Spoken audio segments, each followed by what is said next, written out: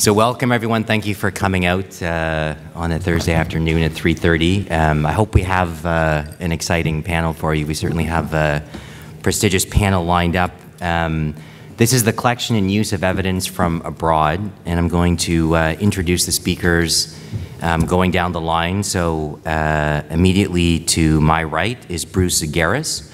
Bruce is a partner at Berliner, Corcoran and Rowe uh, in Washington, D.C. Bruce does a wide variety of criminal work, especially white collar. Um, he's handled evidence gathering and extradition cases involving uh, prisoner transfer applications. He's testified as an expert in international criminal cases involving money laundering and tax crimes.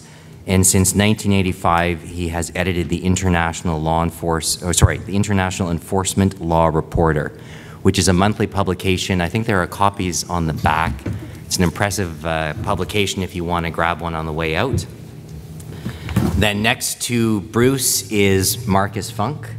Um, I've known Markus for a while. Uh, he's the firm-wide chair of Perkins Coie's White Collar Investigative Practices. He was a former federal prosecutor from Chicago, section chief with the U.S. State Department in the Balkans, and clerk with the Federal Court of Appeals and District Court. He's a law professor at uh, Oxford University, the University of Chicago.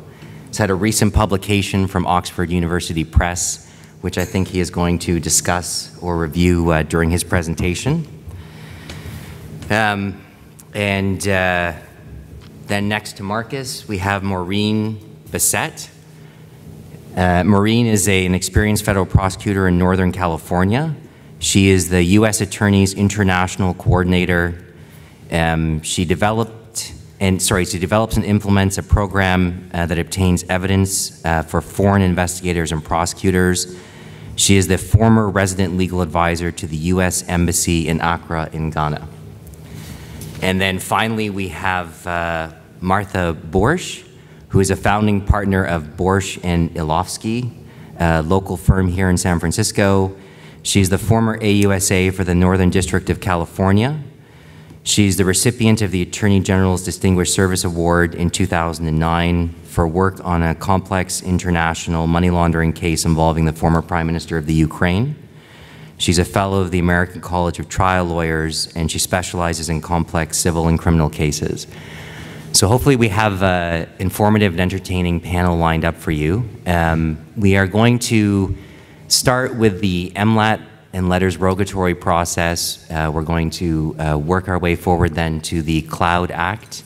Um, so we'll start with the actual evidence gathering process abroad, and then we're going to look at the use of evidence uh, in U.S. trial courts.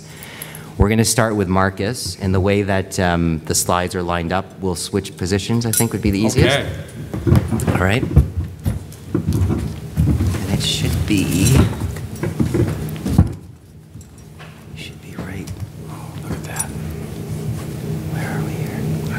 Here.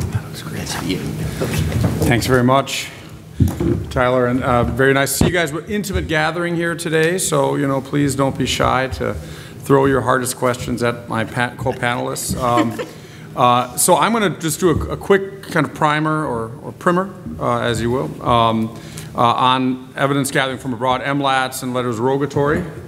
What I'm going to talk about are MLATs and letters rogatory. Um, the thing to remember is MLATs or mutual legal assistance treaties. I mean, are, are, how many of you guys are familiar with MLATs, at least generally? Okay. Okay, so 50-50 split or so. Um, so the, the key is that MLATs are really only tools available to, pro to prosecutors, right? They're, they're treaties between, in, in, our case, the United States and another country, uh, uh, or in some instances, groups of countries, uh, and they essentially obligate the part participants or the parties to the treaty to help the other country gather evidence. That could be testimony, that could be gathering documents, et cetera. In the U.S., as, as some of us are familiar, you know, when, when we get an incoming request, uh, a district judge will appoint a, um, uh, an, an AUSA to basically gather information uh, or, or conduct the interview, what have you. And so uh, we are currently involved in, in, in, in, sort of trying to fight an MLAT uh, uh, involving the largest uh, emerald in the world, 900-pound emerald, quite beautiful. I'm, I've never seen it, but, you know, it's out there somewhere in the sheriff's office. Um, And we're trying to prevent the Brazilian government from taking it back. And uh, our government is saying, we ha- we- even though this is kind of probably a questionable legal theory the Brazilians are using, we're obligated to return it because the Brazilians have asked us to, and we have an MLAT. So we're kind of working that, that fund case through the, um, the court system now. But again, the, the, the number one thing to remember is it applies um, to governments, not to individuals. The practitioner's tip um, uh, that we have here, um, and I see the, it's very interesting that the, what I have in front of my, I mean, here and that what's up there don't match up. Kind of challenging. Is that right? Yeah, it is. How's that work? Okay, great. Hold on. uh, We'll see if we can fix That's okay, it's more challenging. So, so practitioner's tip basically is, you know, you go to court and, and, and, and, and and you say, well, you know, the government's getting this, this, you know, deposition or whatever, we'd like to speak to the person too. The government could say, well, no, you're not allowed to, this MLAT only applies to us. District courts usually have sort of take a, a negative view of that, because they don't like to have their schedules messed with, and so they will sometimes tell the prosecutor, who always, you know, obligingly will say, yes, sure, yes, your honor, um, that might, maybe, you know, you can kind of tag along with the prosecutor in terms of their evidence gathering, so to keep everything streamlined and to keep it fair. Um, Then you have, uh, I can't- I'm trying to think of other fun stories to talk about uh, while we're at it. Uh, Okay, wait. Still is not matching up. That's okay. We'll just, well, you, you don't need this. This is, this is uh, unnecessary. It's my cheat sheet here. Um, so that's really the main thing, and I'll, we'll want to make sure we leave a lot of time for, our, for, for, for this distinguished panel, and also so we have time to, to, to talk about some of these issues if you have questions. But over 60 countries, European Union, uh, the U.S. has, has MLATs with, you can look them up, and they're very similar. They all have a certain sort of uh, tonality to them. One of the key things is there's no dual prosecution requirement, which is key. So in other words, even though uh, a particular offense may not be illegal in the United States, if we agree to gather information for a foreign country, we don't look into whether or not it's also illegal here. Um, and again, the U.S. government does very little to sort of weigh in on whether or not that request is reasonable, should be granted as a matter of law. There are very few exceptions where the government, our government, will, will say they're not going to grant the MLAT request. In the Brazilian case, it's all public record, of course. Um, initially, the Brazilian government creatively said, we want this emerald that our clients own, like literally own, a court in California has declared them the owner, a bona fide purchaser for value. They said, we want it as an exhibit in the trial uh, against the people who mined it down in Brazil. So we'll put a little exhibit sticker on it. We need it in, to really have this 900-pound emerald in Brazil. U.S. government said, yeah, that, that's kind of stretching a little bit, you know, picture probably will do it. Um, uh, So then they said, well, okay, we're going to want to forfeit it. We want to forfeit it as an instrument, uh, as a proceeds of unlawful activity. Mind you, the people who mined it 20 years ago, and my, our, our clients, there's like 20 people in between. Uh, and we said, wait a minute, you know, bona fide purchase for value, pretty basic concept of law, uh, also applicable in, in, in Brazil. And, the, and they said, the DOJ said, well, you know, that's a great argument, bring it up with the Brazilian court, uh, which, as you might ma- imagine, is not the most favorable venue. So that's kind of where it is. But it shows you how MLATs can be used, and frankly, how when the government kind of sinks their teeth into an MLAT request, there's very, there are very few ways around it. Uh, and it has force of law, you know, U.S. government, uh, federal court will, will enforce it. Um, Can I, Oh, sorry, yeah, maybe I can ask while Sure. you're, so the MLATs um, conceptually, are, are they through the whole criminal process? They can be pre-conviction, post-conviction, it doesn't matter? Yeah, they can be pre-indictment, investigative uh, tool, but again, it's only prosecutors, right? So you as an individual, and this gets us to the letters rogatory, Right. which are only once you have a filed case. You as an individual, you know, attorney for, let's say, a- a a defendant or person being investigated, have absolutely no legal right to, to demand anything under an MLAT. um, Which makes it, it's, it it is an inequality of arms, I mean, basically, which is not, you know, as a former federal prosecutor, I thought that was great. I I mean, and, and that's something the US just started doing in 1988. Um, And in the UN Model Convention, it is open to, Yep. to defendants. The, and the US has browbeat other countries to have that clause. The clause says, this convention can only be used between the prosecutors. In no way can be used by defendants or third parties. Right. Such as in forfeiture cases. Right, right, absolutely right. But you know, and I don't want to interrupt the flow of your No. presentation, but I'm, this is going way back in my memory now, but I, I was involved in, uh, uh, I, don't- I can't remember what the successor of Napster was, but do you remember this file sharing service? Uh, and it was the individual in New Zealand who legally changed his name to Dotcom. Uh, in the U.S., uh, FBI, Department of Justice, started an investigation for copyright infringement. Some of the servers were located in Canada, which is where I was based and where I'm from, and uh, they executed an MLAT request.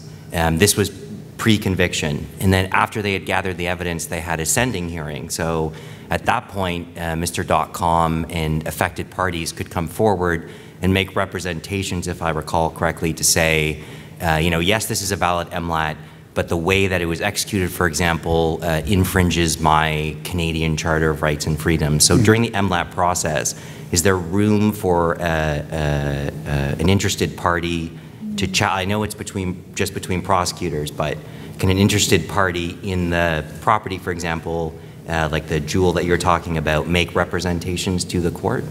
You can try to, you can make, you can make arguments that, um, that, that essentially the request is a a, a sham, but, but effectively, at least we've, we found out too, unfortunately, uh, so far, that um, there's really very little a third party can do to intervene and somehow derail an MLAT request, other than trying to persuade the U.S. government that it's just a bogus, unfair request and that you're depriving American citizen of, of their, of they can, any, any company, country can come along and grab anything.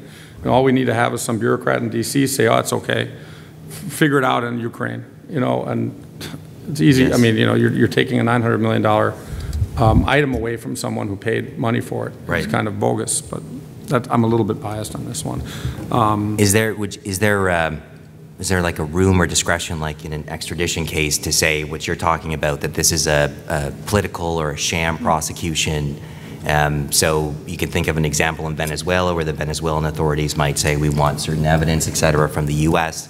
In, in that situation, would there be room for an individual to say, look, this is a sham? I mean, I know in extradition cases, uh, if you can show it's a political crime, um, you might have some leverage to have it uh, put aside? Is there, is there? Well, you can challenge identity of the person, for example. That, we had a case where someone claimed you got the, the brother, yes, my brother is the bad guy, my twin brother. Ah, okay. It's not me, which is pretty good. Uh, uh, But what do you think? I mean, you're, you're, you're in the government now. So, I, I mean, it's a good question. I've seen it in the extradition context. In the MLAT context that I'm working in, our matters are all sealed. So, um, private parties, unless it's the internet service provider, we're in a world where we have Facebook, Google, Apple, Dropbox, all of those entities are here in the Northern District.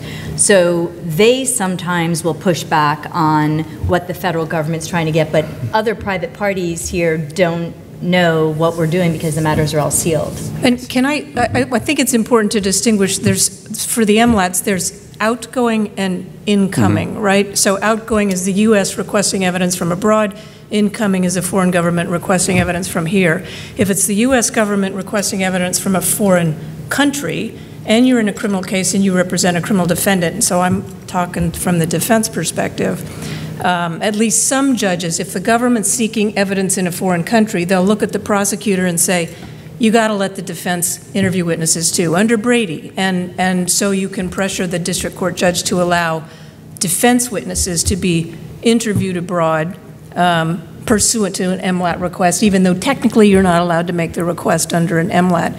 On the um, incoming requests, if it's, and they can be either for documents or testimony, if it's for testimony on the incoming request, if it's for a witness who is someone you're familiar with, or maybe you have a joint defense arrangement with them, that witness can raise objections, like, I have a Fifth Amendment privilege, I have a privilege under the law of the foreign government.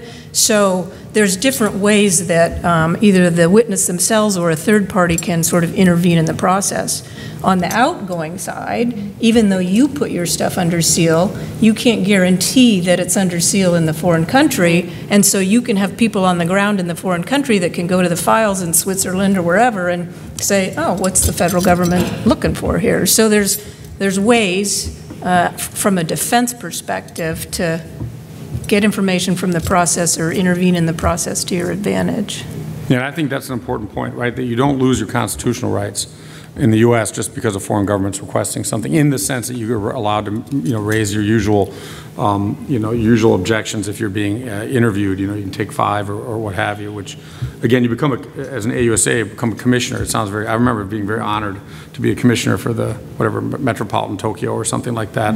You know, letter with like a lot of little ribbons on it and so forth. And then you go forth and find, kind of gather information uh, uh, with subpoenas and otherwise. But so that's basically the, the MLAT, and a very brief summary. We actually, um, uh, I know, you know, this plugging books thing is great, you know, I mean, it, it, uh, but I did a thing for, for free for the Federal Judicial Center, and you can go online and find it for free, thus no residuals for me.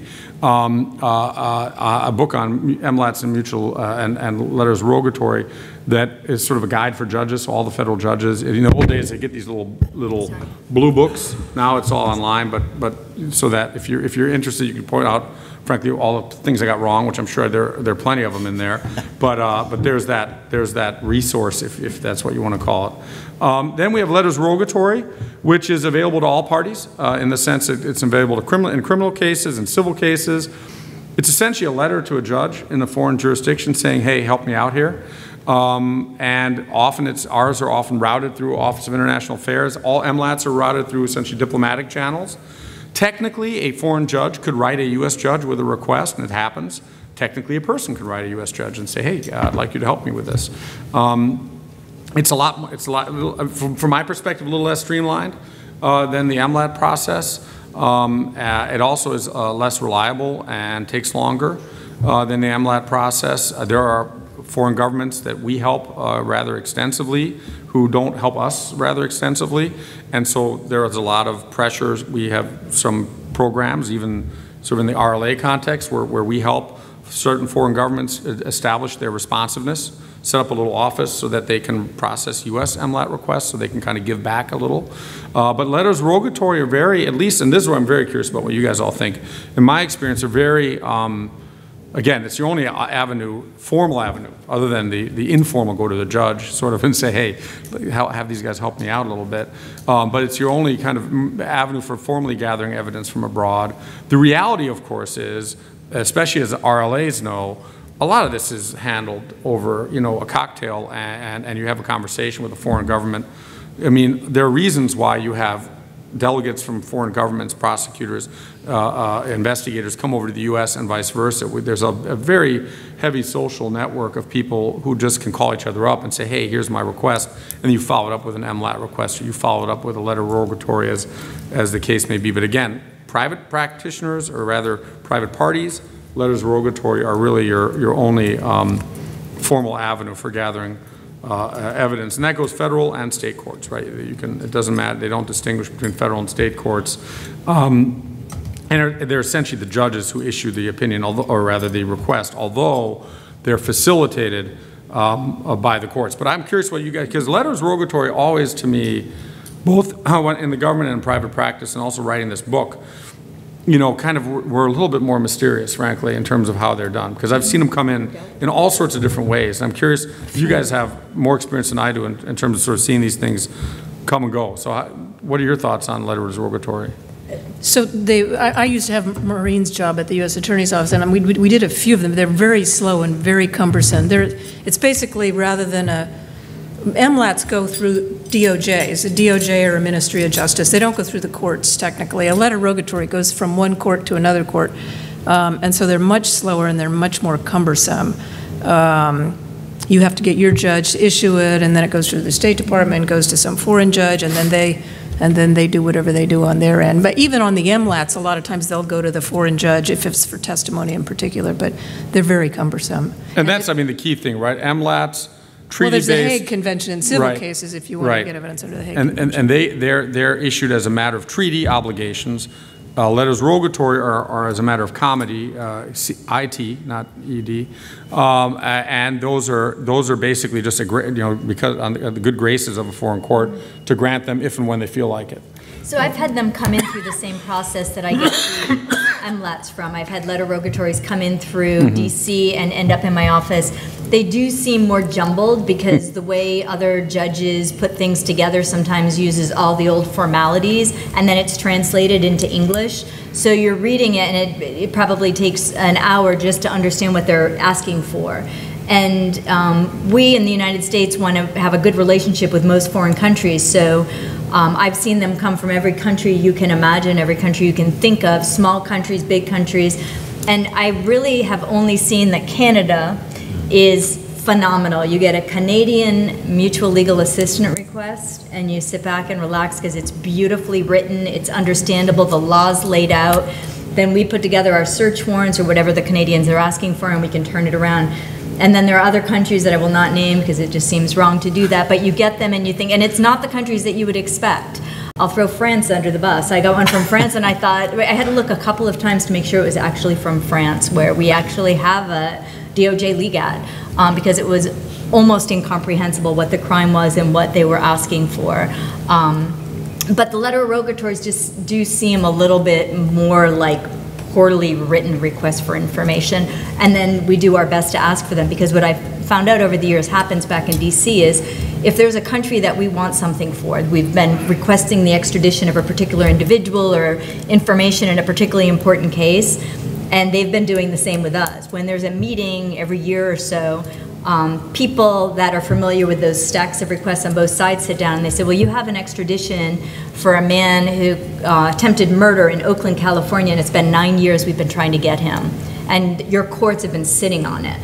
You want this person in Mexico, well, then you need to move. And there's this, you know, carefully negotiated horse trade that happens. We'll get that done, we'll give you this. There's some of that behind the scenes. Yeah, a big difference too between the two is that in MLATs, there's a central authority. And the central authorities deal with each other almost daily.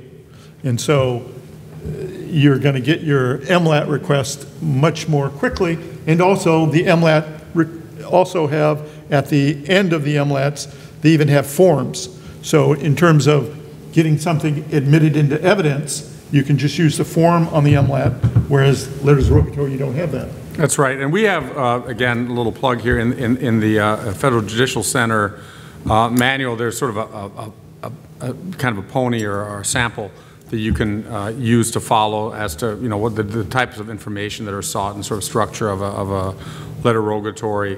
And, and of course, uh, at the risk of stating the obvious, when we say there's 60-some countries with whom we have treaties under the MLAT process, if you're doing your math, there are a couple more countries in the world. So a lot of countries you don't have treaties with for a whole number of reasons, but you can still send a, a, a little love letter over to their courts and see if something comes back. But, but in any event, and of course, again, shameless plug, this is a, a lovely book, Oxford Press. Margaret McKeown wrote an awesome foreword, Judge Margaret McKeown, um, from baksheesh to bribery, and, and you know, as smart uh, uh, or semi-smart white-collar defense attorney, I, of course, re reprint, just to make up some space, the entire Federal Judicial Center handbook in here as an appendix material. So uh, feel free to pay if you, want- if you don't want it for free.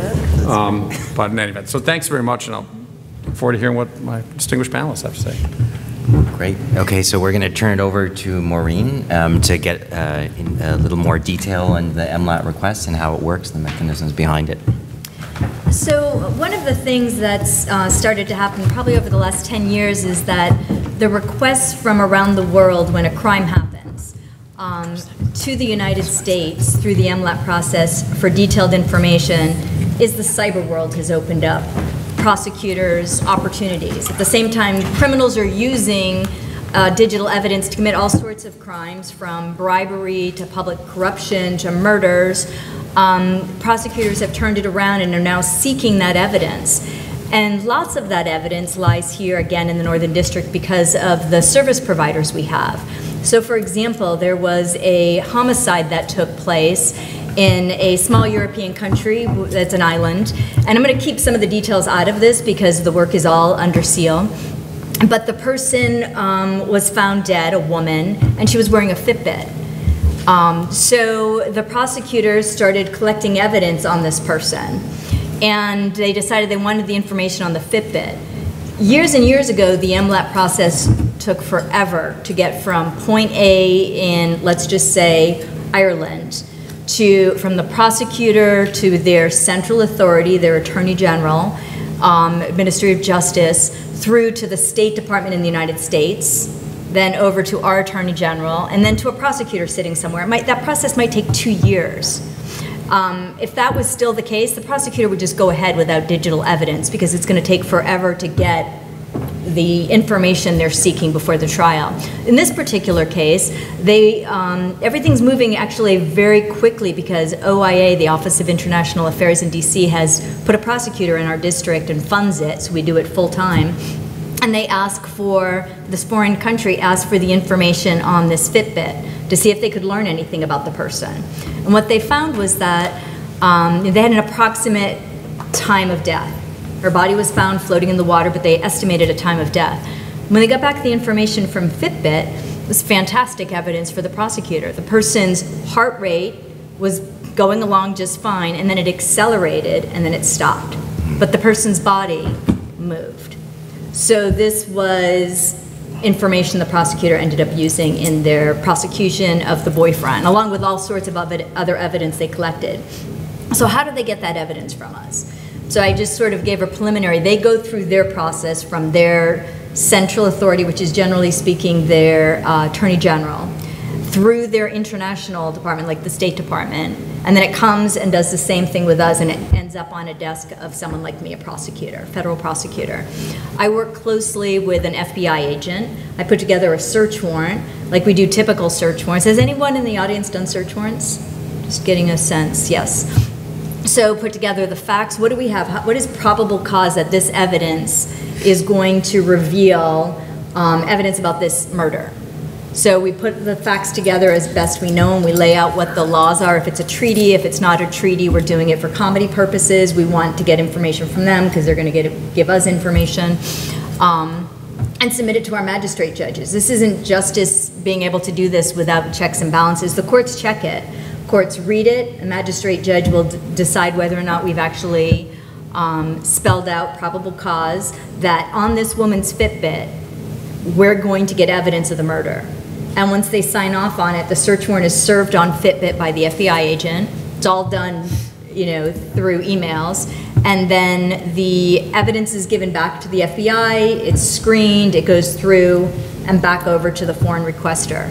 So when you sit back for a moment and think, what information is on my cell phone right now? I'd never really thought about it as extensively as I have in the last year because you don't think about things like which one of my apps has GPS. So many of them do. Okay, so, and it's the rare criminal, rare person who will go on here, even if they've committed a crime, and, and stop the, um, you know, shut it off, shut off the app. The phone has it, your Gmail account, your Facebook, everything on here separately is taking down information about you. And so, you know, finally for prosecutors, it's fantastic, especially because we actually move these things. We'll get a request in and we'll respond to it within a few months. So, um, you know, crimes are mostly now committed. I'd have to say the two biggest um, internet service providers, Facebook, for some reason, everyone who commits crimes then talks about it or messages someone. And then someone who assaults or rapes or molests someone then sends messages like, I'm so sorry I did that to you last night, are we still friends? That's all fantastic fingerprint evidence of the crimes, and prosecutors worldwide now are aware of that and want it. So that's been my role, along with working on extraditions, and you heard that we also become commissioners. So the commissioner is actually a really interesting way to gather information. If someone here, I had a case where um, a murder was committed, and the person here in the United States had also, they had fled from, you know, a foreign country, let's say Australia, and with all sorts of evidence of the crime, like the person they killed, their credit cards and other things, and people sometimes just don't think. Then use the credit cards here in the United States, and so that foreign country, let's say Australia, then does a request that gets to us fairly quickly. We, an AUSA becomes a commissioner, files in magistrate court. Um, we'd like to get this evidence, lay out what the foreign request is, lay out what the evidence is, and then our agents will actually go and do a search warrant here in the United States, interview witnesses, gather that, excuse me, gather that information. And this is usually at an investigative stage, so the defense attorneys from my experience so far, are not yet involved. The person has not yet been charged. And then that evidence is gathered up and shipped back off to the authorities. At the same time, um, in this particular case, the foreign requester asked for the individual's extradition. So the evidence was gathered and then they were extradited. So the, um, the cyber world that I'm working in right now is really phenomenal. I mean, people move at light speed to move money through bitcoins and, um, and mostly communicate through things like WhatsApp and Facebook and Gmail. And that's all trackable for the most part. There are a number of qualifiers, but I, I won't go into that. So Can I- it in a. So um, the example that you gave with the Fitbit, you get the request uh, from the requesting state, and then uh, you you basically work with an FBI agent. You put together a search warrant that obviously is through the American judicial system. So it goes through the the same process it would if it was domestic once you receive the request, right? That's right. So I remember, and again, this is going back some time, but um, uh, there was a, uh, I acted for an individual who had uh, been subject to an MLAT request from Belgium. So there was a bilateral treaty, uh, MLAT treaty between Canada and Belgium. And in that case, um, what they asked for and what they uh, were successful, uh, this was before my involvement in the case, but what they were successful in obtaining was an order to have an actual judicial inquiry of the, uh, of the witness, of, of who eventually became the defendant. So this courtroom in downtown Toronto, for all intents and purposes, became part of Belgium for three or four hours. The person is brought in and, and uh, they say, look, under Belgian law, uh, you know, our, we're a civil law system and our judges are allowed to make inquiries, and that's exactly what happens through a video conference. And I always wondered, um, is, there, is there a conflict of law situation? Because in, in Canada, you would have the right to remain silent, right? So you'd be able to say, well, you, you can't ask me these, which uh, Martha's going to talk about, but you can't ask me these questions, right? So it's interesting. I've had a number of those requests come in. Spain had an investigation and they wanted to interview someone here. I've had, uh, so they set up a three-judge panel and we uh, communicated with the individual. In my case, they were a witness, but they could be a target depending on what they said. They came in, they had an attorney. Um, I communicated with the attorney and they came in and they answered the questions of the Spanish court. In my understanding, I mean, they have due process rights because they're in the United States. It's different than extraditions. But um, they answered all of the questions, and the Spanish court gathered the evidence. And I've, I've done the reverse. I've gone to Taiwan where we had two targets and a significant amount of evidence. And I went through the MLAT process and they let us go over, but they were very clear it was going to be the Taiwanese prosecutor who was going to be answering, asking the questions of the target. And it was an uncomfortable, weird situation because I wondered, in Taiwan, they do have the right to ask them, but here, obviously, we give someone, they have the right under the Fifth Amendment not to answer questions that are going to incriminate them. And then the Taiwanese prosecutor, because we were translating and going through a process, I was able to write questions beyond the ones that had already been approved. And in my mind, I just assumed anything we gathered from that was for information purposes only, and we would not be able to use it against them in the United States if the person was ever extradited. And that, you know, I, I looked for cases, and I know you've got two cases here, and I just assumed that was going to be what would happen at the end of the day. If the person was extradited and we were going to prosecute them here in the United States, I would not be able to use their compelled testimony from Taiwan, even though it was gathered legally there. Uh, Do you agree with that? Yeah, I mean, it, it, it really depends on what you're talking about, I mean, in terms of what process is being used. But, but if, if you're talking about an MLAT request and it's incoming, so a foreign government wants to interview a person here in the United States, if it's a U.S. person here in the United States and a foreign government wants to interview them, the person here in the United States has a Fifth Amendment privilege if they're threatened by U.S. prosecution, not if they're threatened by foreign prosecution, but if they're threatened by U.S. prosecution, they can invoke their Fifth Amendment and not, and refuse to testify. But if they do that, you could go get uh, a, a judicial immunity order and now compel the U.S. citizen to provide testimony for a foreign proceeding. Flip side, if now you want to go to a foreign country and you want um, a uh, witness over there, and they have a Fifth Amendment privilege under their law, they can invoke it. There's nothing you can do at that point to compel them. If the foreign government's not going to compel them, you're, you're stuck with it. So it depends on, you know, which way you're going. Is it coming in or, or going out, and, and whose privilege is being invoked? I mean, the, the more interesting question is if it's a U.S. person here, say they have a bank account in Switzerland, which wouldn't, you don't have this anymore, but say you have a bank account in Switzerland, and someone wants to interview you here, and you say, ah, I, I have a bank secrecy privilege, and I don't want to, I don't want to talk about my bank accounts. Can they invoke that or not? I don't know. I would say try, but. But then they um, might freeze your bank account.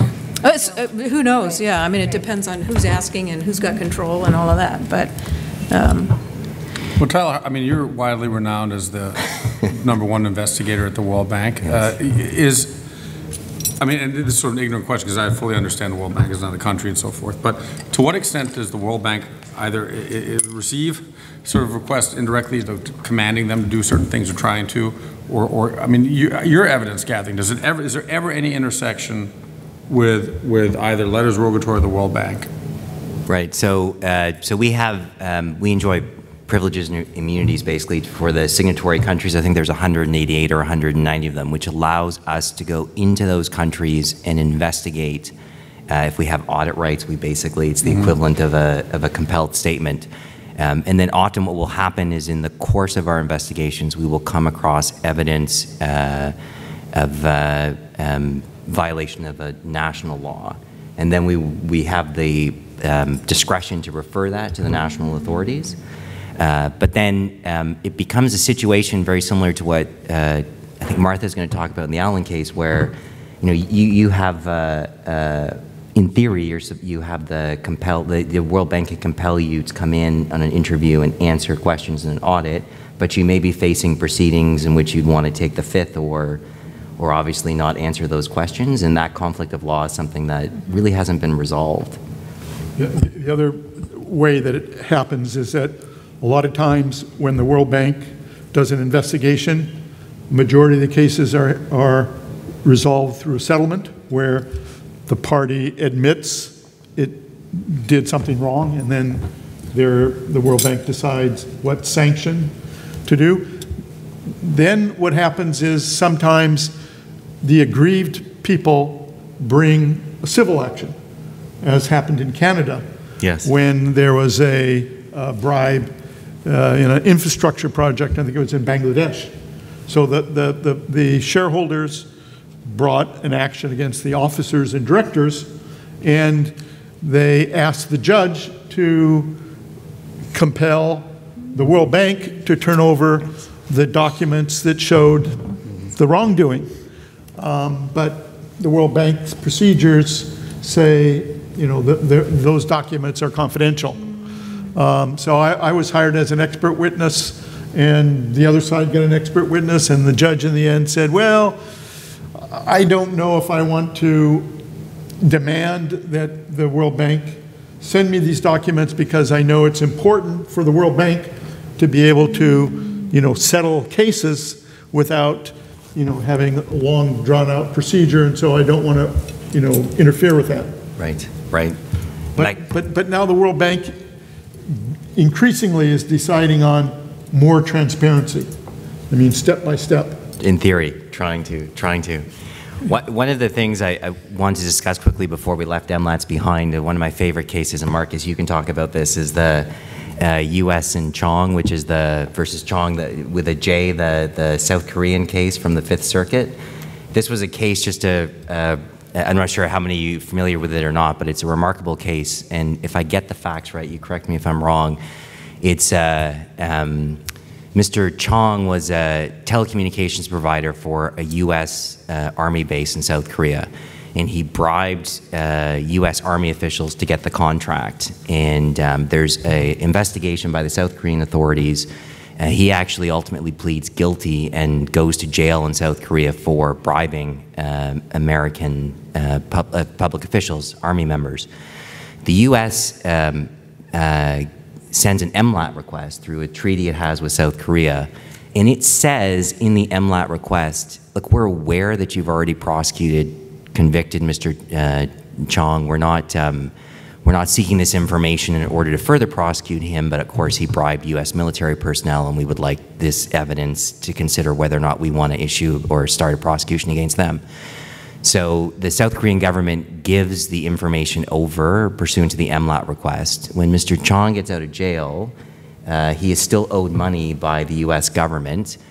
When the U.S. government says, yeah, that's fine, why don't you just take a plane and come on over to Texas and we'll talk about what we owe you? And of course, when he lands in Texas, he is arrested and charged for what's essentially the same conduct. And part of his argument uh, in the South Korean government uh, intervenes amicus and says, look, this is, is you can't, it's got to be an abusive process to, to uh, prosecute me because right in the MLAT request, it says, we won't prosecute this guy. We, you know, we understand that you've already prosecuted him. And the Fifth Circuit Court of Appeal says, well, that's just guidance because in the bilateral treaty, it says the two authorities will, uh, I can't remember if it, the word was, um, they'll consult. I think it's that they can, they'll consult with each other, but the fact that the U.S. government, in, in my humble opinion, completely misrepresented what it would do with the evidence was found to not be an impediment to prosecute him. So he was prosecuted and went to jail in the U.S. for the same conduct. Well, it's also important to note, we don't have double jeop, international double jeopardy. So in other words, if you're in London or in England, and, uh, and there's this case in the same facts where the person already was convicted in the US, you can't, you know, you can't take another shot at, at him or her.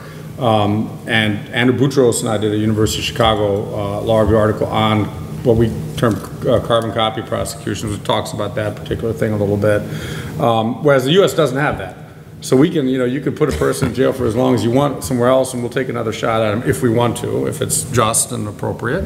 Um, I'm not surprised by that result, by the way. Uh, uh, I understand that, you know, from a diplomatic perspective, maybe the U.S. is going to have a harder time getting some cooperation from the South Koreans going forward, but it doesn't affect the, the, the accuracy, the reliability of the evidence. The evidence is what it is.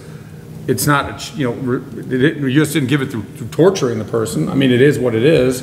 The fact that there is a, a, a, a screw up or a misrepresentation I mean, again, I'm sounding like I'm in my old job here, but, uh, uh, but I, I, don't know, like when I just hear it, and, and, I'm not as familiar with the facts as you are, but it, it doesn't offend my, my sensibilities, and, I, and the result, if it was other, if there was a technical violation of the MLAT process, and that would result in the, in, in the inability of the U.S. government or to use the evidence at all, I think that'd be a strange result. But but again, I may be a minority of one on this. Wouldn't be first time. But but but it just it doesn't. I don't know. I don't. I'm hoping it was a misstatement by someone who was in one part of the Justice Department that didn't know what the other people were doing, because it does offend me a little bit. I mean, I would hate to put something in a request to a country um, and say, you know, when we just asked for Assange and WikiLeaks to be um, extradited here, and then he, you know, we can only charge him with what we're putting in those initial extradition papers that we're sending abroad. We can't change it and then add something that includes the death penalty. So, I mean, I would hope we would never do that because it makes us look bad in the world and then people don't trust us. So. Well, that's, I mean, I, I totally get that. I mean, that's from, a, from, from sort of a policy perspective. I mean, look, we, we're technically allowed to lie to a defendant, right? Oh, we found your fingerprints. What do you say about that? oh, oh my gosh, you did? Okay, I, I did it.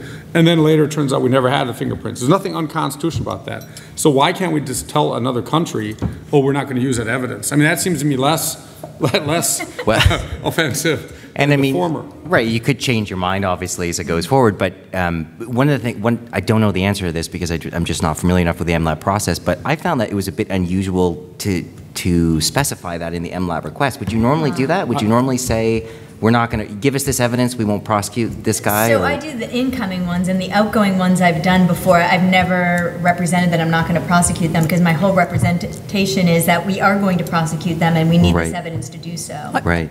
I assume it's just mostly in death penalty cases where other countries are opposed to the death penalty. So then you would say, no, we're not going to prosecute. Right. You know. Right. A lot of the countries, you have to, like in, in Irish law, if we get a request from the US, it has to say that either the information is required for investigation or for prosecution right. purposes. Right. So it actually seems like something that would have been by mistake, unless there was something peculiar with the South Korean arrangement. Because if that request came to Ireland, mm-hmm. it would have to be refused by the Department of Justice. It would even get to the judge stage. Because if you knew that it wasn't good, it was only being asked for by the US authorities for information mm-hmm. purposes, it could not get to the end of that process before the judge to actually gather the evidence under a production order or, or under a witness evidence. It just, a very peculiar situation. Right. Well, to, just to clarify, my recollection of the facts, and I don't have the case in front of me, was that the U.S. was saying, look, you know, we might potentially prosecute the bribe takers, the bribe receivers from the U.S. Army. So we're not going to we're not going to prosecute, but they do specify this. I do remember they say we will not prosecute the bribe giver, the person that you know has already been. And I just that that part of it seemed unusual to me to to specify at that point in time who you will and who you won't prosecute. Once in that situation doesn't, then, let's say, if, if South Korea goes back and said, we'll give you the information, we're only giving it on the undertaking that you have specified. Yes. Well, and That might, that might, for us, for instance, under Irish law, if, if there's a, an evidence from the US or any other country, we only send back the information on the basis of an undertaking that the person, if they're ever tried, the prosecutor will have the opportunity to challenge that evidence mm-hmm. at trial. Okay. So we require what's known as a Brady undertaking. Okay. That arose in a case in our Irish Supreme Court. They said, we're, the Supreme Court said, we're not, we're not allowing anything to go to any other country unless they get an undertaking that that material can be challenged at trial. Interesting. So the country requires an undertaking, that might make it different from a treaty uh, position.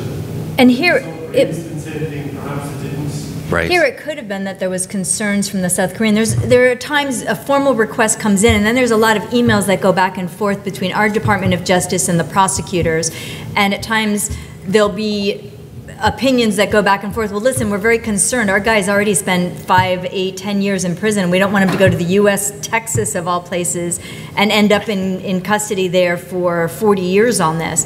And I can see a prosecutor at Main Justice saying, no, no, no, we're, this is for the, we have no intent to do that. This is just for the um, bribe takers. Right. And then, you know, someone in Texas decides this is a great prosecution, we have all this wonderful evidence, and maybe they don't even know what was said in the um, MLAT that went back and forth. Well, and maybe the evidence was not, I mean, you know, Venn diagram, right? I mean, you know, I'm, I'm, you're not effectively, effectively giving immunity to the person, right? We're not going to prosecute if you give us this evidence. Right. For all we know, the Texas, author- I mean, I'm just playing devil's advocate here. Yeah. But for all we know, the Texas authorities feel or have uh, separate evidence, additional evidence, stronger evidence, and they say, well, we're not going to use it exclusively. Again, it goes into the language. But I agree, I have not seen, it other than the death penalty, right? We'll, we'll say, okay, we want this person, we want this evidence, we'll give it to you, but not if you're going to seek the death penalty. We're going to send them over, but not if we're going to execute them for drug offense or whatever. That's where you see the, the kind of the the contingent nature of these MLAT requests. But, um, but again, you know, remember, our exclusionary rules are, in America, are not the world's rules. I mean, in a lot of countries, Germany, for example, if a police officer screws something up, you don't get to, like, the murder weapon doesn't get excluded. You, you go out, you, you, you get the police officer fired. Some would say that's a more sensible approach. Um, so if you follow that logic through, you can see why you wouldn't necessarily dump the whole case uh, just because someone, uh, some bureaucrat screwed something up, which wouldn't, again, be the first time that happens. Right. And years before the prosecution. So, Right. yes. The other element that you mentioned was that the United States then induced the person in the context of the civil case to Yes. say, why don't you come over here? Yes. Uh, And therefore, you know, more explicitly uh, use the first statement in order to induce somebody to come here. Seems to me that adds another level, a troubling level. to the- Yes. But we do that all the time. And that's legal. To, to lure someone into the country is completely legal to then arrest Yeah. them for criminal Yeah, yeah. purposes. That's fine, and it's, it is frequently done. We have to get extra approval at the Department of Justice to do it, but it's legitimate. Yeah, we, there was a case down in St. Louis where the government, um, we uh, uh, basically set up a, a a company that got hacked by, a- by a hacker.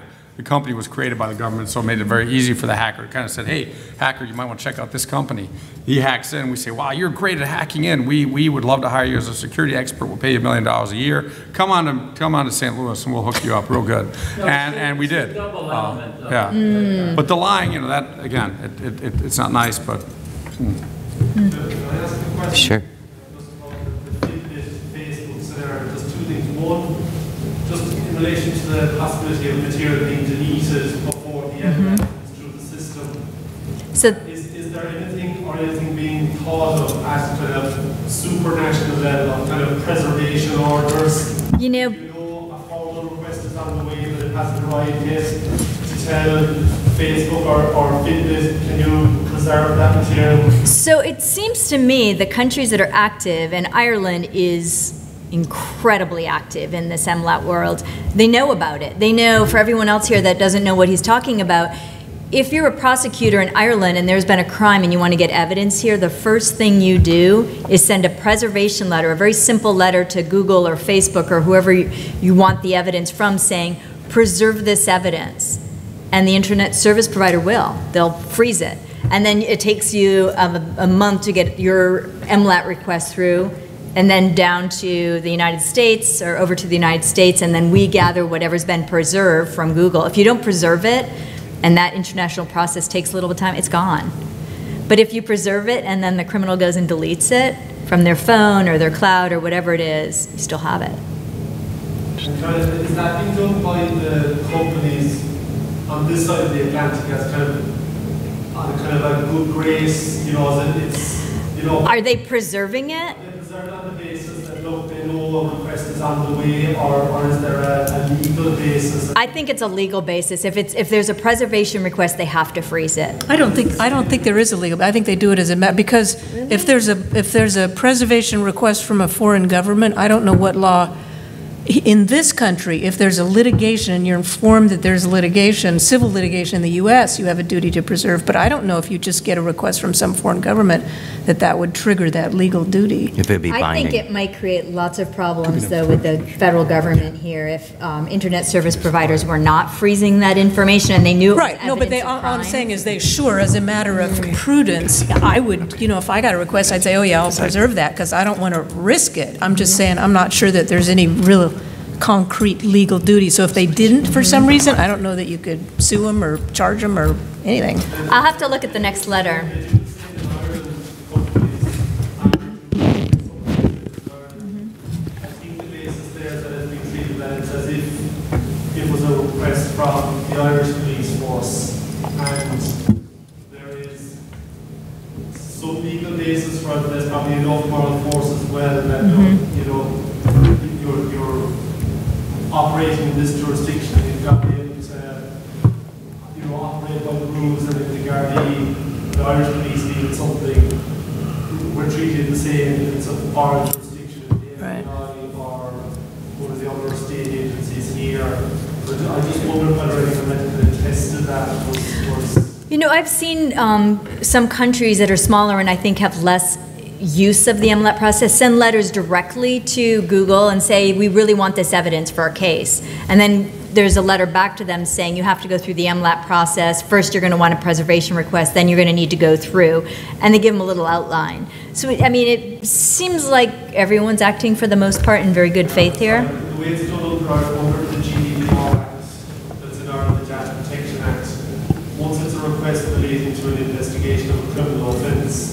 Even if it's not a formal MLAT, once Google or Facebook are informed of that under the Kamloops article of the GDPR directive, but that's enough to get them to have to hold on to the material until the MLAT arrives. Can I just, uh, just about covered, but it is covered enough under the particular provision of the data protection directive, which said that if there's something relating to the investigation of offence, even involves personal data can be preserved, and then it can be formally then channeled through the internet.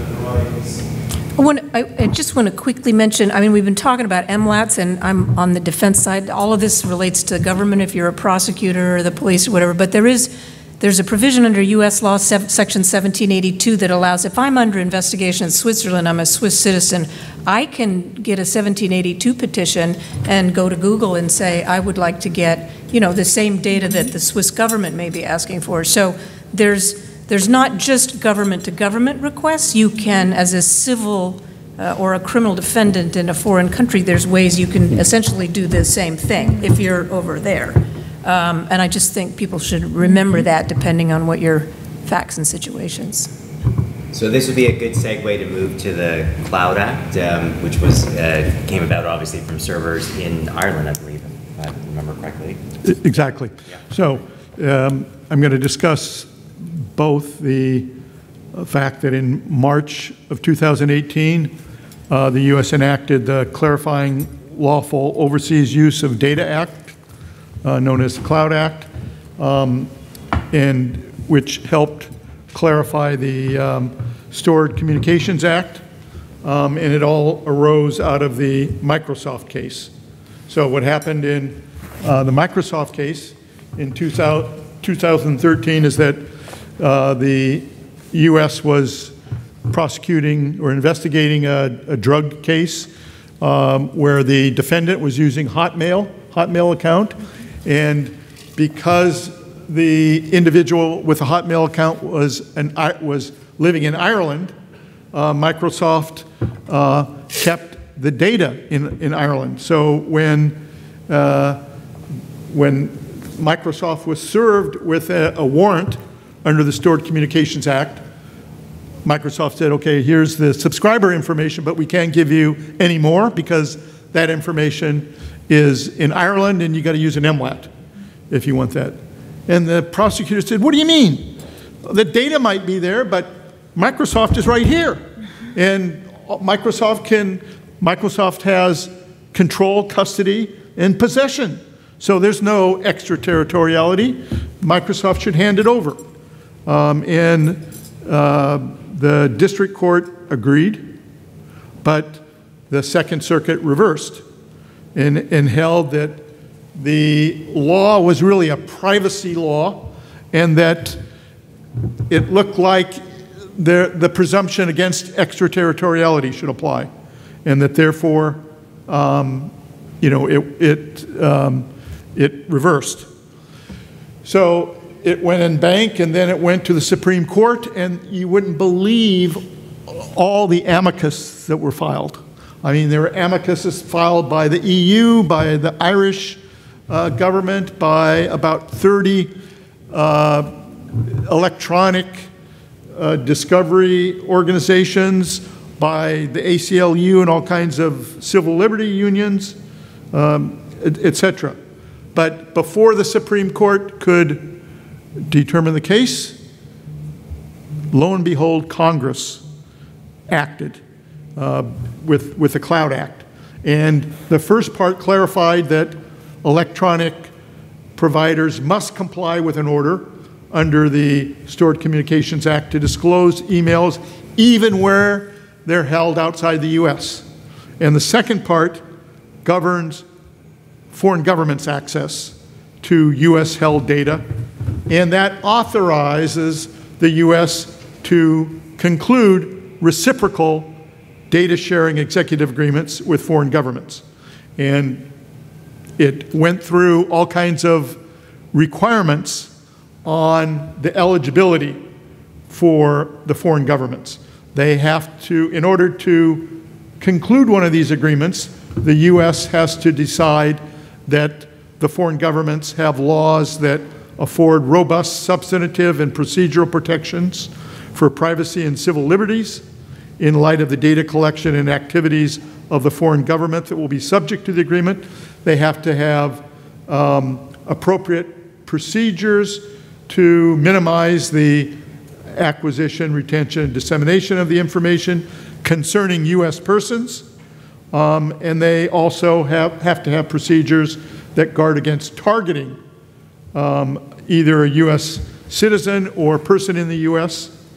Um, and also, in order to qualify for the, for the disclosure of U.S. held data, the foreign government has to meet various conditions, such as uh, the, they have to be trying to obtain the information either to prevent, investigate, or uh, prosecute serious crime.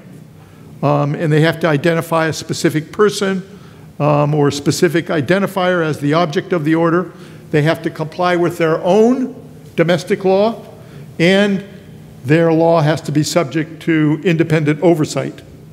Um, and they have to agree to periodic review of their procedures. Um, and so, and then every five years it's up for review. So essentially, if they meet all these conditions, then the foreign government can go directly to the U.S.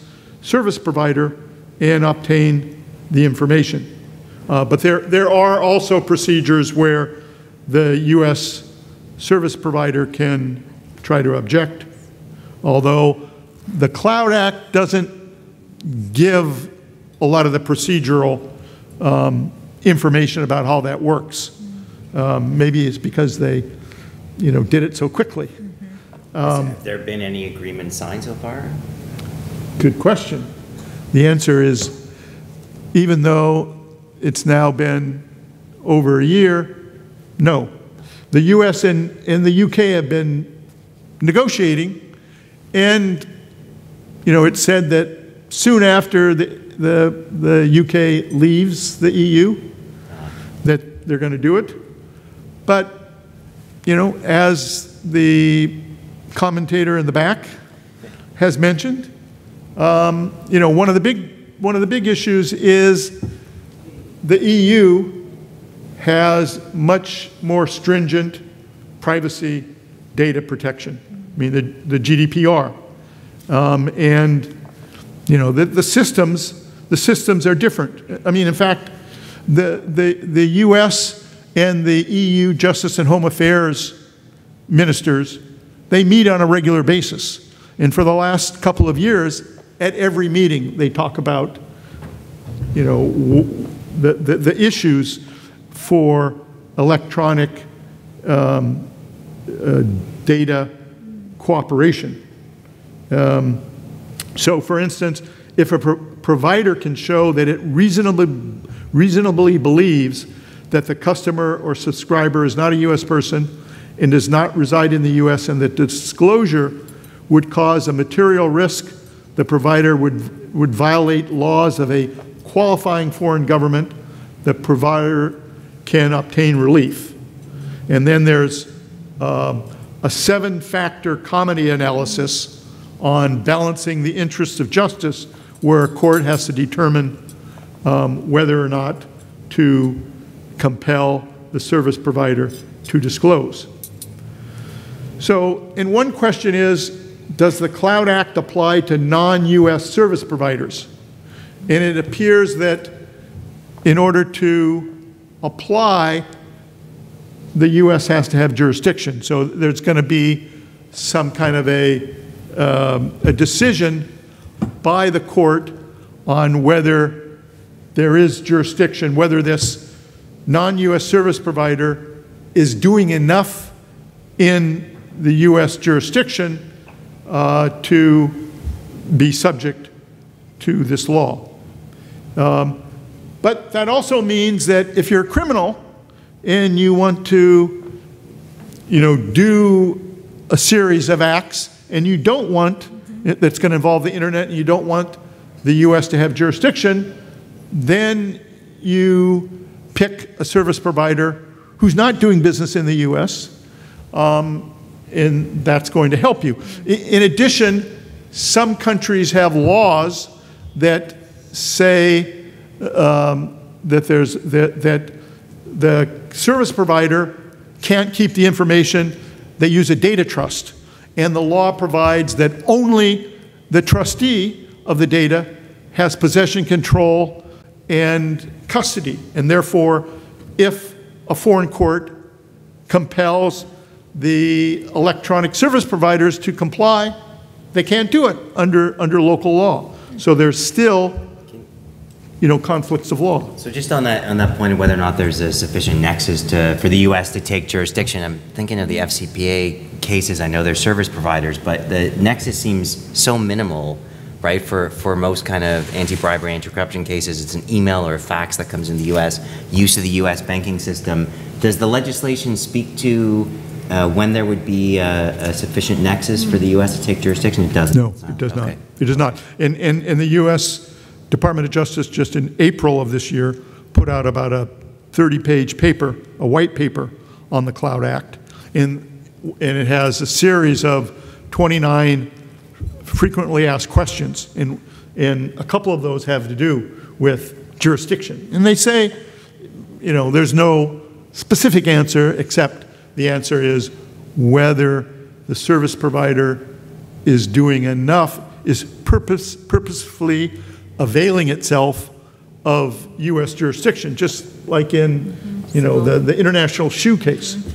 Um, So, uh, and I think one of the reasons the DOJ put out the white paper is because it hasn't had any takers yet. I mean, it hasn't had any governments that's wanted to sign up. And, um, and so, you know, that, that, that is uh, an issue. So I mentioned, for instance, this, the problem of data trusts. Um, um, so then the question is, what, what have other governments done? So the EU has, uh, in April of 2018, they've done a proposed regulation on both a European production order and a European preservation order. And they um, require that any electronic service provider into the EU has got to uh, appoint a representative. And that representative has to be um, subject to service, a process, and responding. And they, you know, they, they speed up the, the time to respond. So normally, you would have 10 days, but if the EU country can show that it, it's urgent, that somebody's life is at stake or a critical infrastructure is at stake, then you only have 10 hours to um, respond.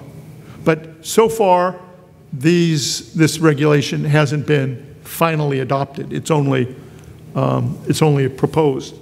Um, yeah.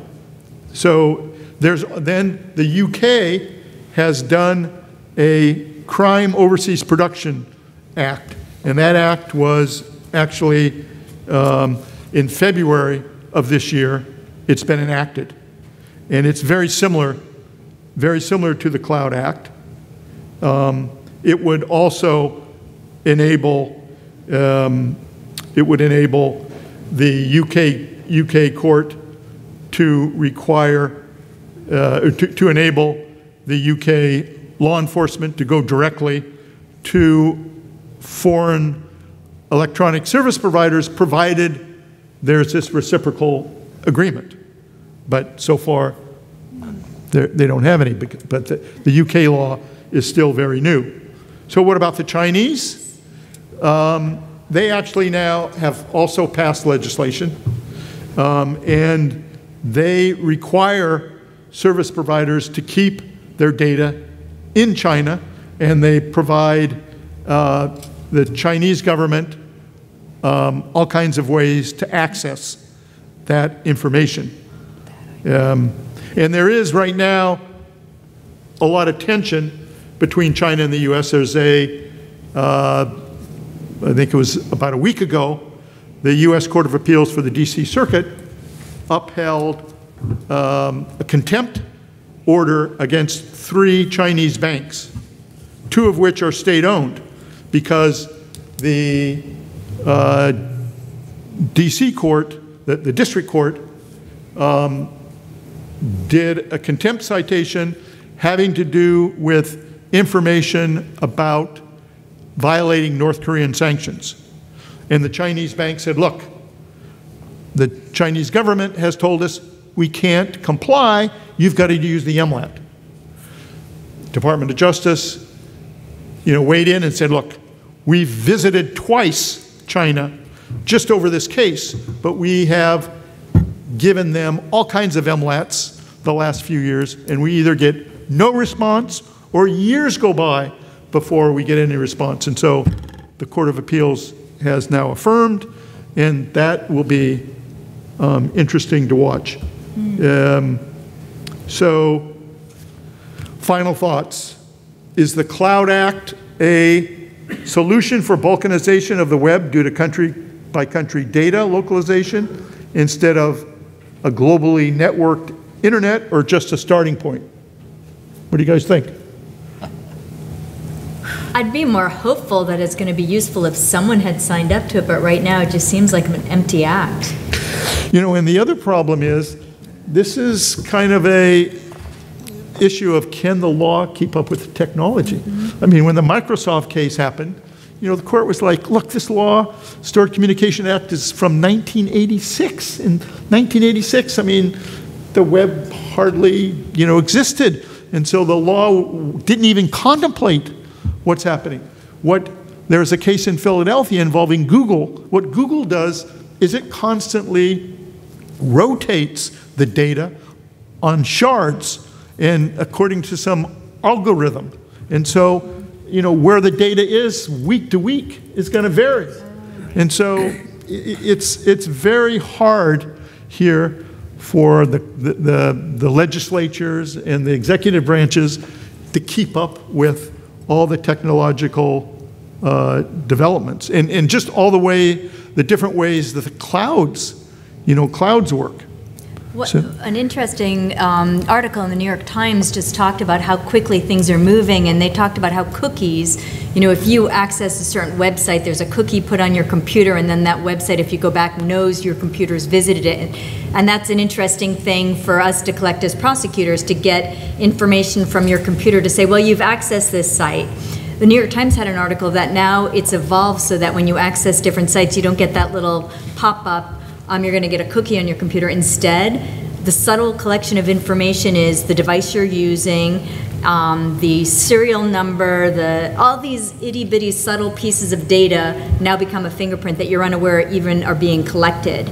And so when I read that article, I'm like, oh, great. I mean, that's something now we should be collecting, right? About um, all of the defendants that are doing certain types of crimes, but most people are completely unaware of it. And I frankly knew some of it just from the search warrants attachments that we do and what we're asking to collect. But until I read it in the New York Times article, I wasn't aware how fully it's documenting the activities of pretty much everyone. So I, I don't think anyone is keeping up with the changes that are happening. And um, very clever individuals that want to commit crimes will put servers in their own homes in different countries so that uh, I I had a case where someone um, purchased a piece of property and used a property that looked like it was the next door property, but really was on the same site um, to store their server so that no one would know the server was even there. And, you know, these things are evolving so quickly, and every so often, law enforcement, you know, bumbles upon something, and then there's great coordination efforts, and a big takedown that happened a few years ago was done by, done in New York City, um, and the prosecutors had to obtain information from servers in all parts of the world. And once someone was caught in one country, they agreed to cooperate and then let the government use their server so that the other defendants that were relaying information into this server had no idea that this individual here had been caught. And so slowly, bit by bit, they gathered the information. So I, I don't think it'll ever be everyone's, the legislation, the prosecution, and, you know, the defendants are the only ones that seem to me to be five steps ahead. Yep. Okay, so I think with that. Yeah, so um, we'll- we'll, um, we're going to switch gears, uh, and we're going to look at, um, we're going to have Martha talk about um, uh, compelled statements and uh, um, what happens when uh, um, you're in a country. So I'll- I'll, Canadian, for example, I I don't want to, in the Canadian self-incrimination protection is on the uh, back end, meaning that in Canada, normally, uh, you can be compelled to provide a statement, which is what's going to happen in the, in the case Martha's going to go through. Um, But then you get testimonial and derivative use immunity. Um, And the interesting question of, well, what happens if you, if that statement is shared with a foreign authority that might have a very different concept of self-incrimination? So I am going to shift gears and talk about now what the innocent defendants can do to fight the government oppression that we've heard about now for the last hour and a half terms of evidence collection. Um, The case I'm going to talk about real quickly um, is, is U.S. versus Allen, which is out of the Second Circuit. And this, this is a case in which the Second Circuit held that a statement um, that is compelled by a foreign government uh, is inadmissible in a criminal proceeding here in the U.S. under the, under the Fifth Amendment. Um, And the, the case involved, and there's a spin-off case in New York that involved the Deutsche Bank, but the question was, if you, if you, there's an international, you know, parallel investigation, the UK Serious Fraud Office is investigating, this is the LIBOR um, uh, investigation, the U.S. Second Circuit, the Southern District of New York is investigating the same thing. Um, there's a witness, uh, uh, the defendant um, uh, is, is uh, compelled, or a witness is compelled to make a statement in the UK. And in the UK, they can force you to make a statement. You don't, you don't get to invoke and refuse. They can force you to make a statement. And then that statement is then used um, in proceedings in the United States, and the Second Circuit held that, in fact, the Fifth Amendment privilege applies um, to statements that are compelled. And what that, what that means for a criminal defendant, if you're a defendant, um, is that if the statement is compelled, you can now raise a Kastigar issue in the U.S. A Kastigar issue meaning you can raise an issue with the judge and say, that statement was compelled in the UK by the British authorities. That compelled statement was given to U.S. federal prosecutors. U.S. federal prosecutors then use that statement to gather evidence, and that triggers uh, uh, a Kastigar inquiry under a U.S. Supreme Court case that said, if, if the government uses compelled testimony, testimony compelled in violation of the Fifth Amendment, the government has the burden to prove that other evidence in the case is not tainted by that compelled testimony. And in Allen, um, the Second Circuit found that, in fact, the uh, government's evidence was tainted because uh, the government's primary witness, cooperating witness, had reviewed the compelled statement of the defendant, the U.S. defendant. So um, this is a really interesting case from a defense lawyer's perspective because there are a lot of these investigations that are transnational and there's investigations going on on either side of the border. And it's a way for a defense attorney to be able to use um, arguably screw-ups by the government, um, you know, in, in their client's favor. The Allen case was then outside the international context, sort of, was then extended a little bit by the Second Circuit, or by a district court in the Second Circuit in um, uh, the Black and Connolly case, in which the court held that uh, an interview by Deutsche Bank of a Deutsche Bank employee, a current employee, was compelled because the employee would be fired if he would, if he didn't submit to the interview, um, and it was compelled by Deutsche Bank, but the U.S. prosecutor, the U.S. Attorney's Office, was essentially directing Deutsche Bank's internal investigation, and therefore that compulsion was attributable to the U.S. government in violation of the Fifth Amendment, and this, and this statement again triggered a Kastigar inquiry. In that case, the court found there was no taint, um, but at any rate, um, pretty clearly the Fifth Amendment would apply, and then it triggered the Kastigar. So there are ways, and whenever you have a case uh, defending someone where there are foreign proceedings, you should always be looking to see how you can use that to your advantage for the defendant. Look to see how whatever statements your client might have made were compelled in a foreign, uh, by a foreign government, by a corporation who's cooperating with the U.S. government. Um, however, and in the same context on the MLAT side, uh, if um, you know evidence has been gathered by the prosecutor against your client in a foreign country, there are ways that you can look to see if you can exclude it. For instance, maybe the evidence was um, acquired in violation of foreign wiretap laws. Um, can you exclude that in a U.S. criminal proceeding if it was collected in violation of the foreign wiretap laws or other foreign laws? So that's um, we're like right at the cocktail hour, and I really hate keeping people away from their cocktails. So, maybe I can just it. on the Allen case, if I understand, I, I, I did read it. So the, it, it, it doesn't look like the U.S. authorities actually had the compelled statement. They were using a witness who had reviewed the compelled statement, and that was enough of a taint. right, right. Okay. Although I think they, I I don't remember. I think they actually Do they obtain it? obtained it. Yes. Okay. So, and then it, to me, into my mind, it's a bit of a contradiction, but I'm sure that there's a. Uh, going back to the example of the Spanish case where the, the Spanish authorities uh, come in under an MLAT, they say, we want to examine this witness, we're entitled to do so. The witness in that case under the Fifth Amendment, if I understand correctly, is not entitled to invoke the Fifth Amendment by, because it's a foreign prosecution. Is that, that's right, right? Well, so it, it, that issue never arose. So Okay. I don't know what would have happened if the defense attorney said, he's going to refuse to answer these questions. Right. The Spanish court would have been stuck. They're in Spain. Um, I'm here through the video. with the person, I think we would have had to then bring it before a magistrate judge here and file briefings and have them rule on it. I, I don't know why, I think if someone is sitting here, even though it's a foreign proceeding where the Fifth Amendment may not be applicable, if by making certain statements they were going to incriminate themselves, I, I don't know, what, what do you think? I think that they may be able to refuse to answer the question. Well, the question would be whether that witness risks uh, criminal liability. Right. And if it did, whether it's in Spain or anywhere else. Well, you can't invoke the Fifth, you can't invoke the U.S. Fifth Amendment if what you're fearing is prosecution in a foreign country. That's under that Balsys. Case. The Balsys you case. can't. So you Okay. cannot, if you're, if you say, oh, if I answer that question, Germany's going to prosecute me, you're a U.S. citizen. You can't invoke the Fifth Amendment. You might, if you're a German resident or citizen, might be able to say, well, no, I have a Fifth, the equivalent of a Fifth Amendment privilege under German law, and so I'm not going to answer the question. But a U.S. court would say, well, we don't care. It only matters in the U.S. if it's a U.S. criminal proceeding that you would fear a prosecution or it would incriminate you here.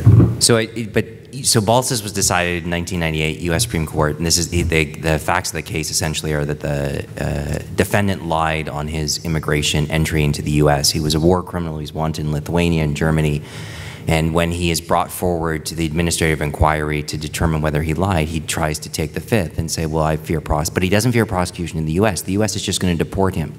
So he fears prosecution in Germany and Lithuania, and the U.S. Supreme Court says, no, that's not, it's not sufficient. You have to fear, uh, uh, have a reasonable fear of a U.S. prosecution. But when I look at the deciding, like the decision in Allen, I wonder if it's ripe for reconsideration because Allen seems to emphasize the fact that your Fifth Amendment right is a trial right, it's a personal right. It comes into play, you know, in the U.S. proceedings, and I think there's some kind of contradiction between the fact that Balsys was not able to invoke the Fifth for a foreign proceeding, but in the Allen case, they're able to invoke the Fifth by saying, look, even though the, the statement was not taken by U.S. authorities, was overseas, I'm in the U.S. now, I want to invoke the right now, it's my, my trial right. One thing I was confused about is, is in the Allen case, is the, is, is the, is Allen the defendant invoking his own? Fifth He's Amendment? invoking his own Fifth Okay, Amendment privilege. as distinct He was over in the UK doing work, and they go interview him by the Serious Fraud Office. He's compelled in the UK to do it. Then they extradite him from the UK over here. He's prosecuted over here. It's his own statement that was compelled, right? But the claim wouldn't apply if the compelled statement was of someone other than the defendant. Right. Right, right, it's personal Right. to the defendant. That's Right. right.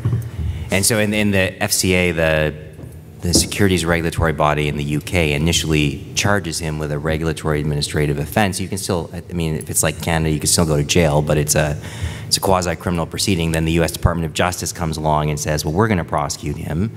So they stay their proceedings. Now, again, I presume that British Canadian law are similar uh, you can reinstitute a proceeding after it's stayed. So, you know, depending on the result, I don't know what happened to Mr. Allen, um, but the FCA might say, well, we tried, they tried to prosecute you in the U.S., it failed, so we are going to now reinstitute our proceedings here. But I think in the, in Allen, the, he, his statement in the UK was compelled. Um, Had it not, he tried to invoke, he said, no, if I make that statement, it's going to incriminate me in the US. Right. And the UK said, we don't care, you have to answer. And so in Balsys, the guy didn't say, no, it's going to incriminate me, me in the US. Right. And so the Supreme Court says, no, the Fifth Amendment applies, it's Only. personal right. And the other thing you have to distinguish between, when you're looking at these issues, is if it's a statement, there's two different ways in which you might keep that statement out. One is under the Fifth Amendment and say, oh, it's compelled, and the other is under the Due Process Clause and say, oh, it was involuntary. And those are two different things, and the laws are different in terms of how they apply and, and all that. So you got to be sensitive to what, what you're alleging about the statement, what's wrong with it. Right. So I, I note the time is 4:58. I'm, I'm going to, in literally two minutes, go through very quickly the International Silver Platter Doctrine, which talks about the difference between this personal trial right and uh, a more general um, constitutional. But I, it, I- there's only, I think there's six slides, and so I'm going to go through this uh, super quick, but just because it's a, a good comparison. Um, So I'll start, for those of you that are not familiar uh, with the international silver platter, uh, platter doctrine, it starts with the, um, it comes out of the, uh, there you go, that's it. Perfect.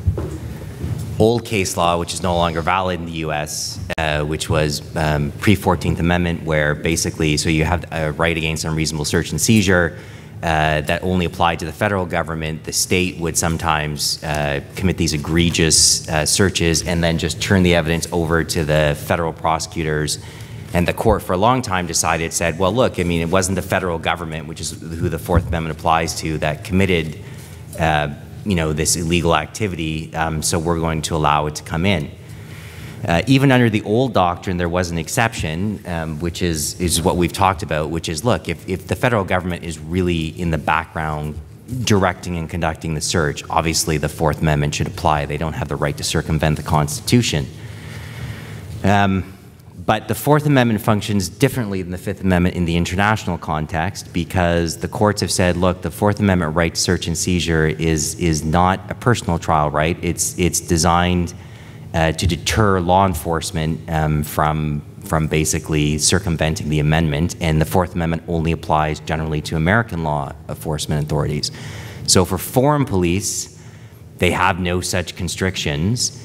Um, and the international silver platter doctrine has outlasted its domestic cousin from which it originated and which was overturned in 1960 by the, uh, the US Supreme Court in a case called Elkins.